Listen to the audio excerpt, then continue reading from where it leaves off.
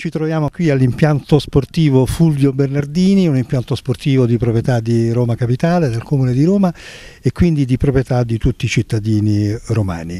È qui che si svolge la quinta edizione di Roma Danza Aperta, una manifestazione dedicata alla danza di Roma eh, che quest'anno si articola in due giornate. Abbiamo voluto fare oggi un open day di lezioni aperte, libere, completamente gratuite, di tutti i generi di danza, per tutti i livelli, per tutte le possibilità tecniche, gratuite per tutti. Tutti possono avere accesso a questo. Abbiamo portato quindi a Roma Danza Aperta a fianco delle, eh, dei tanti e tante insegnanti delle scuole di danza della città e non solo, della provincia, ma anche di fuori regione, eh, che oggi partecipano all'Open Day, abbiamo portato anche delle eccellenze, come dire, tra virgolette, uso questo termine, quali Alessandro Tiburzi, ex primo ballerino del Teatro dell'Opera di Roma, e come André Della Roche, etuale internazionale che non ha bisogno di presentazioni. Qual è per noi il, il valore di queste presenze?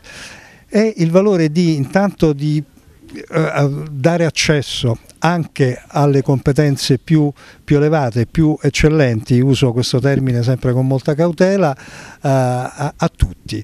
E quindi aver portato qui eh, a Pietralata, in una eh, zona non centrale, in un quartiere, la possibilità di accedere a questo ha per noi un alto, un alto valore, un alto contenuto, che è poi il contenuto eh, e il valore che ha quello che eh, accomuna il denominatore comune tra la danza e lo sport. La danza ha in comune con lo sport molti valori, eh, quali ad esempio eh, il valore eh, de, de, dello star bene, della, della, degli stili di vita attivi, della non sedentarietà, il valore di condividere spazi, tempi e luoghi, il valore di fare dei percorsi comuni, collettivi che migliorano sicuramente il danzatore, migliorano lo sportivo, ma che sicuramente, sicuramente migliorano il cittadino. Eh, alcune mm, osservazioni su Roma Danza Aperta. Allora, abbiamo aperto le lezioni di questa mattina con eh, un, un, due lezioni, una di acrobatica circense molto partecipata e molto curiosa e una di danza africana, una lezione molto energica